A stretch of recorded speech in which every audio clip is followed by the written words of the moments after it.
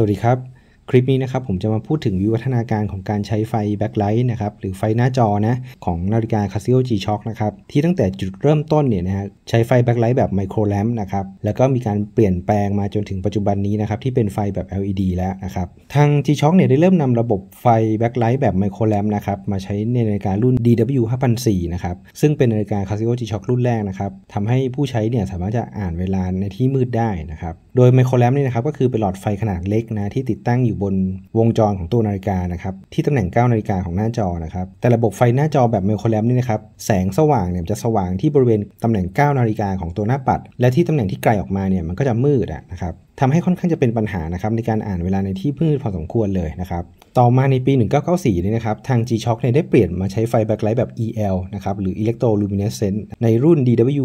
6600 นะ ซึ่งก็เป็นนาฬิกา G-Shock รุ่นแรกนะครับ ที่ใช้ระบบไฟแบ็คไลท์แบบนี้นะครับ ซึ่งจริง ๆ แล้วเนี่ย ก่อนที่จะปรับมาใช้เป็นระบบไฟแบบ EL นี่นะครับ ทาง G-Shock เนี่ยได้เคยนำไฟหน้าจอแบบ LED เนี่ยมาใช้ก่อนแล้วนะครับ แต่เป็นการใช้ในช่วงสั้น ๆ นะครับ อย่างเช่นในนาฬิกา Casio G-Shock รุ่น DW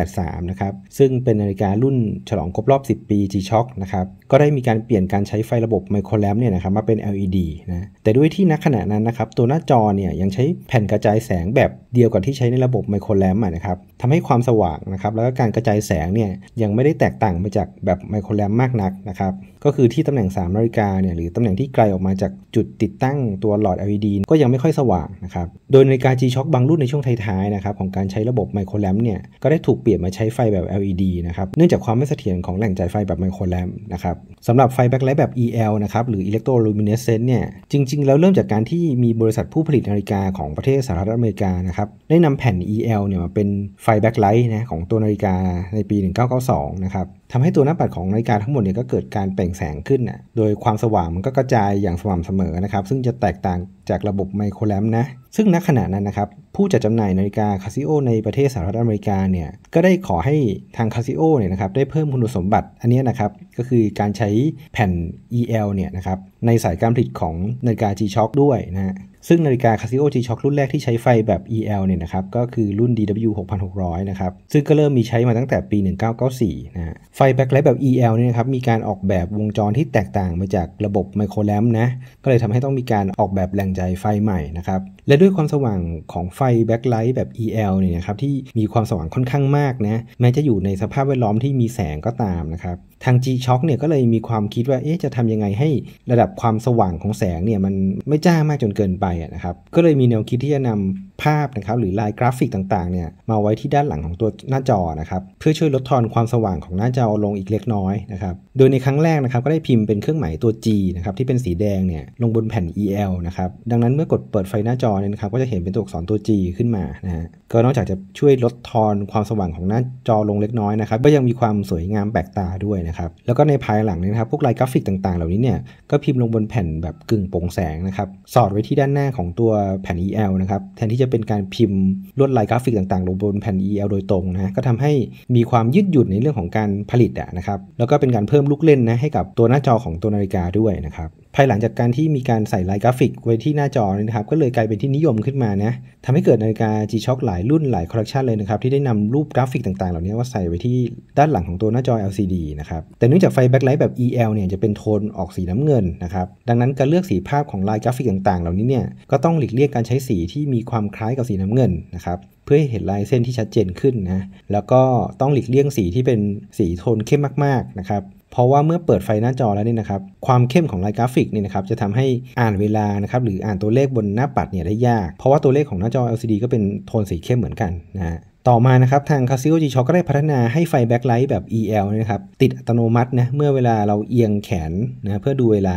นะครับโดยอาศัยการใช้เซ็นเซอร์นะครับที่ด้านในเนี่ยจะเป็นลูกบอลนะกลิ้งไปกลิ้งมาได้นะครับ โดยเมื่อเราทำการเอียงตัวนาฬิกาเนี่ยครับตัวลูกบอลเนี่ยก็จะกลิ้งมาสัมผัสกับขั้ว connector นะเพื่อสั่งให้ไฟหน้าจอเนี่ยติดขึ้นมานะครับซึ่งก็เป็นหลัก กลไกง่ายๆนะครับ แต่ก็เป็นกลไกที่มีประสิทธิภาพที่ดีนะฮะ แล้วก็เซ็นเซอร์แบบนี้เนี่ยก็ยังคงใช้เรื่อยมาจนถึงทุกวันนี้นะครับสำหรับไฟ backlight แบบ EL อัตโนมัติเต็มรูปแบบนี้ครับ ก็จะมีเซ็นเซอร์ตรวจจับสภาพแวดล้อมด้วยนะครับว่าเออตัวหน้าปัดนาฬิกาเนี่ยครับอยู่ในบริเวณที่เป็นที่มืดนะครับหรือที่สว่างนะ โดยดูจากปริมาณแสงนะครับ ดังนั้นเมื่อมีการใช้เซ็นเซอร์ในการตรวจจับแสงสว่างนะครับ ตัวนาฬิกาเนี่ยก็จะเปิดไฟ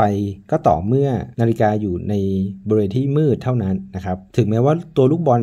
ของตัวเซ็นเซอร์ที่ตรวจจับการเคลื่อนไหวเนี่ยจะกลิ้งมาสัมผัสตัวขั้ว connector ก็ตามนะซึ่งไฟ backlight แบบอัตโนมัติเต็มรูปแบบนี้นะครับก็จะช่วยให้ประหยัดพลังงานของตัวนาฬิกามากขึ้นนะคือเมื่อตัวนาฬิกามีการขยับเนี่ยนะครับไฟ backlight มันก็จะไม่ได้ติดตลอดอะนะถ้าสภาพแวดล้อมบริเวณนั้นยังมีความสว่างอยู่นะครับซึ่งระบบการทำงานแบบนี้นะครับก็จะเป็นระบบที่ใช้ในนาฬิกา Casio G-Shock ในยุคปัจจุบันนี้นะครับ แล้วก็ตั้งแต่ในช่วงประมาณปี 2010 เป็นต้นมาเนี่ยนะครับ ระบบไฟของ G-Shock เนี่ยก็เริ่มเปลี่ยนจากการใช้ไฟ backlight แบบ EL นี่นะครับ มาเป็นไฟแบบ LED นะ โดยเหตุผลหนึ่งที่เปลี่ยนมาใช้ไฟ backlight แบบ LED เนี่ยนะครับ ก็คือปัญหาในการจัดหาตัวแผ่น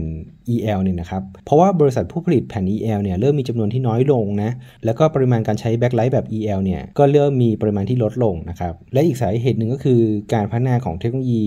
ไฟแบบ LED นะครับที่มีประสิทธิภาพที่ดีขึ้นนะครับแล้วก็มีราคาที่ถูกลงนะครับโดยไฟระบบ LED เนี่ยจะให้ความสว่างที่มากกว่านะแล้วก็ประหยัดพลังงานมากกว่าด้วยนะครับทำให้ทาง Casio G-Shock เนี่ยนะครับมุ่งเน้นไปที่การใช้ไฟแบ็คไลท์แบบ LED นะเป็นหลักสำหรับนาฬิการุ่นใหม่ๆอย่างเช่นนาฬิการุ่น GD 100เนี่ยครับที่เปิดตัวในเดือนกันยาปี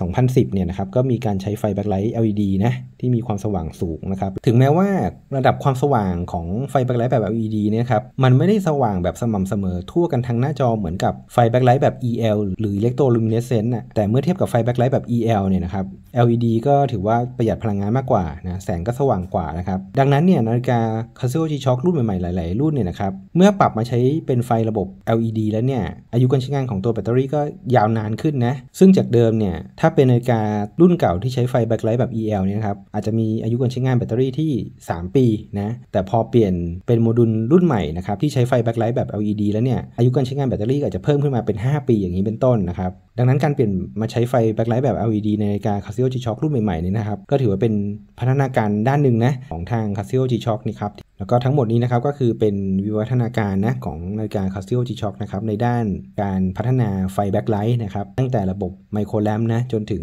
ไฟแบ็คไลท์แบบ LED ในยุคปัจจุบันนี้นะครับก็สำหรับคลิปนี้ก็เท่านี้นะครับ สวัสดีครับ